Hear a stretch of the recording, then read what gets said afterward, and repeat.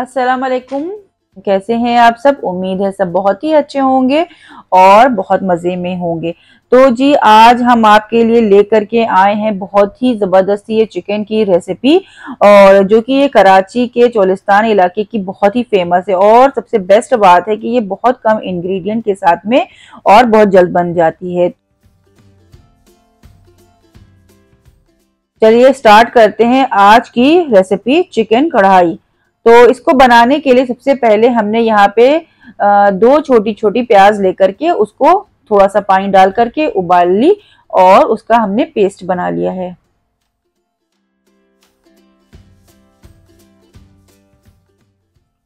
और जब ये प्याज का पेस्ट बन गया और साथ में ही हमने थोड़ी सी अदरक को जूलियन कट कर लिया है और ये लिए हैं खूब अच्छे राइप टमाटर और ये लगभग चार से पाँच अदद हैं। और साथ में ही ली हरी मिर्चें। तो यहाँ पे कढ़ाई बनाने के लिए सबसे पहले हमें चाहिए ये लोहे की कढ़ाई। इसमें हम तेल डाल देंगे और आधा कप तेल पड़ेगा इसमें और इसको खूब तेज ज़्यादा गर्म होने देंगे तो फिर हम इसमें डाल देंगे कुछ हरी मिर्च। तो हरी मिर्च डालने के बाद हमने चिकन को जो हमने पहले से धो करके और पानी अच्छे से निचुड़ जाने के लिए रख दिया था, उसके बाद वो इसमें हम डाल देंगे और खूब अच्छे से इसमें इसको फ्राई कर लेंगे जब तक कि अपना खूब अच्छा सा कलर ना आ जाए।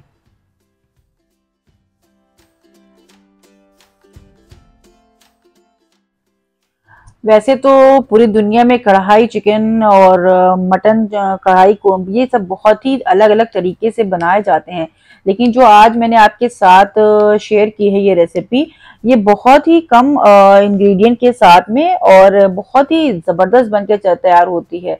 तो फिर अब जब ये चिकन अच्छे से फ्राई हो गया है, तब हमने इसमें डाल दिया है एक एक चम्मच अदरक लहसन का पेस्ट। और अब हम इसकी फिर से खूब अच्छे से भुनाई करेंगे।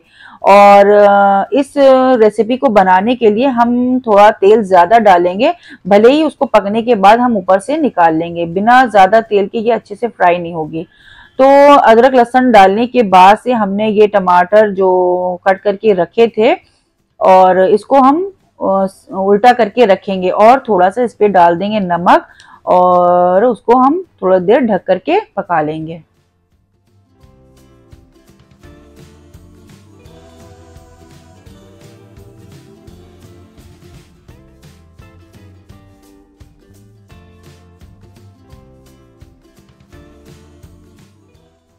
तो 10 मिनट से 15 मिनट तक पकने के बाद ये टमाटर खूब सॉफ्ट हो जाएँगे और इनके छिलके जो ऊपर के हैं वो आसानी से निकल जाएँगे। तो इन छिलकों को हमें ज़रूर से निकाल देना है, वरना ये पूरी रेसिपी में ऊपर अलग अलग नज़र आएँगे, क्योंकि टमाटर के छिलके गलते नहीं हैं। तो बस छिलकों को हटाने के बाद से हम इसको एक फ्लैट स्पून से इसको अच्छे से तोड़ देंगे और बस अब इसको हम हाई फ्लेम पर पकाते जाएँगे और ताकि इसका पानी खूब अच्छे से सूख जाए और जो भी तेल डाला है वो सेपरेट होके ऊपर आ जाए। और जो गरम मसाला वगैरह जाना है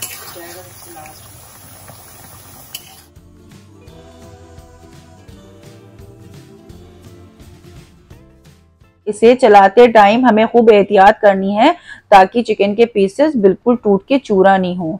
और अब जब ये रेसिपी का पानी अच्छे से सूख जाएगा और ऑयल ऊपर सेपरेट हो जाएगा तो फिर हम हम डाल देंगे इसमें बाकी सारे मसाले। तो अभी तक तो हमने सिर्फ़ इसमें नमक डाला है और टमाटर, और अब हम इसमें डाल देंगे ये उबली हुई प्याज का पेस्ट और ये जाएगा लगभग तीन चम्मच के। इससे खूब अच्छी ग्रेवी बनेगी और टेस्ट भी बहुत अच्छा आएगा। तो प्याज डालने के बाद से अब हम इसमें डाल देंगे लगभग एक चम्मच लाल मिर्च पाउडर या जो भी जितना आप खाते हो और साथ में ही डाल देंगे गरम मसाला पाउडर। और अगर नमक आपको कम लग रहा हो तो थोड़ा और डाल देंगे। उसके बाद हमने इसमें थोड़ी सी डाल दी थी, ये जूलियन कट की हुई अदरक। तो अदरक डालने के बाद अब हम इसको हाई फ्लेम पर अच्छे से मिक्स करेंगे और इनकी खूब भुनाई करते जाएँगे।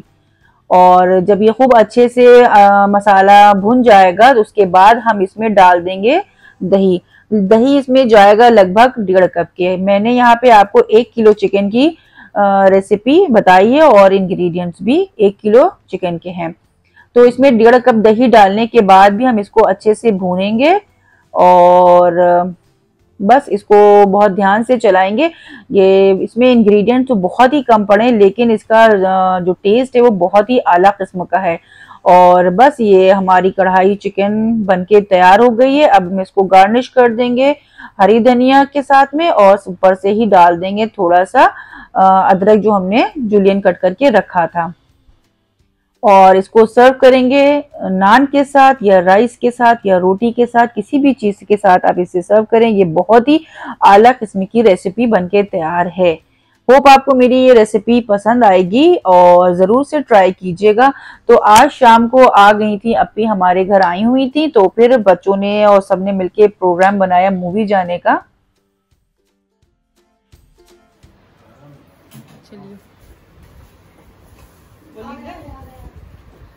चलो।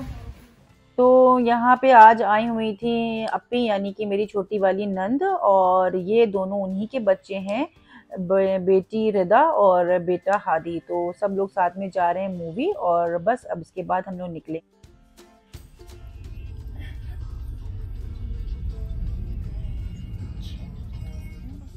तो अभी हम पहुँच चुके हैं सहारागंज मॉल और इब्राहिम बैठे हुए थे अपने बड़े अब्बा के साथ में। हम तीन फैमिलीज़ गए थे एक साथ और मूवी हमने देखी थी सारा अली खान की, ज़रा हटके, ज़रा बच के और कुछ खास मूवी नहीं लगी, बस ओके ओके थी।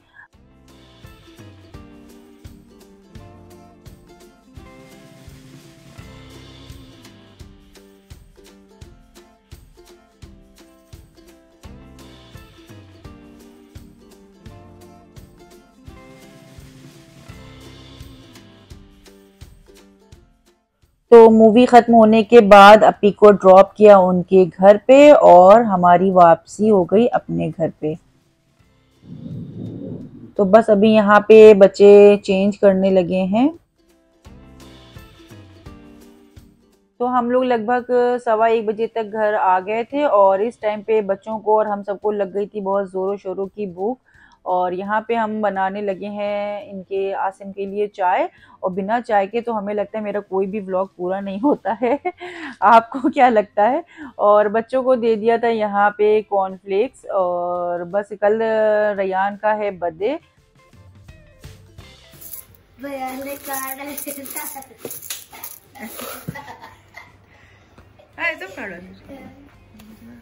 ये पैकेट था।